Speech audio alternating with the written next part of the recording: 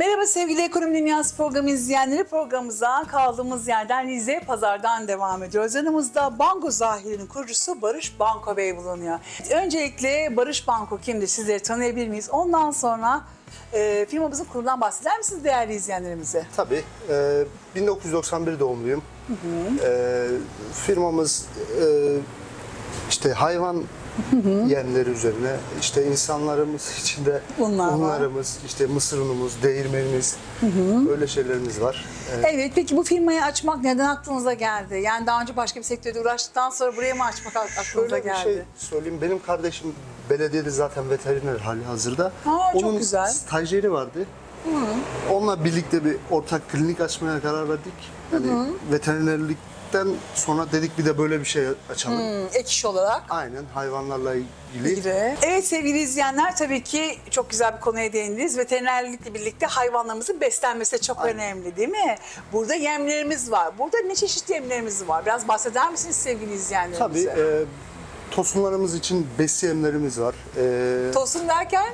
yani erkek Ha, diyelim evet. erkekleri Hadi tosun dinleyenler dana işte, Evet. e, çok affedersiniz ineklerimiz için süt yemlerimiz var. Sütlerinin verimlerini arttırmak için e, gerekli yemler var. İşte farklı farklı besinler var işte mısır kırmasıdır, işte arpa kırması diye. Ondan sonra şey- flek var değil mi? Aynen flekeler var. E, başka yani hayvan üzerine her şey var. Aslında- Samanlarımız da var. Evet samanlarımız var, yoncalarımız var, mercimek samanımız var, yulafımız var. Yani gerekli olan bütün her şey var. Peki hayvanlarımızın biliyorsunuz ki etinden ve sütünden faydalanıyoruz, yararlanıyoruz. O yüzden yani yemlerinden tutun besinlere kadar her şey çok önemli. Bu vitaminler de dahil olmak üzere. Siz ürünlerinizi nereden temin ediyorsunuz? Mutlaka tabii bunun araştırmasını yapıyorsunuz. Çünkü Tabii. veterinerlikle beraber çalıştığınız ortak çalışma var.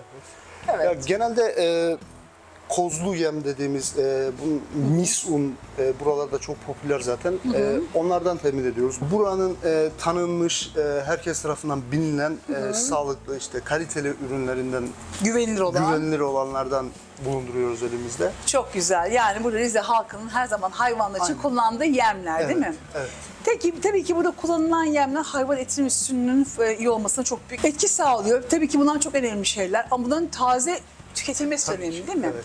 Bu alınan ürünlerin mesela burada çuval çuval veriliyor değil mi? Evet. Bunları nerelere hangi yerlere gönderiyorsunuz? Mesela sadece pazarda mı satıyorsunuz ilçesine yoksa Rize'nin tüm ilçelerine ve de çevre illere bu ürünleri gönderiyor musunuz? Ya elimizden geldiğince tabii ki göndermeye çalışıyoruz. Ee, Rize şu anlık için Rize ve şey Pazar ve yakın ilçelere gönderdiğimiz oluyor. Vermiş olduğunuz bilgilerle ve güzel enerjinize programımıza renk kattığınız için çok teşekkür ederiz. Ağzınıza sağlık Barış Bey. Ben teşekkür ederim.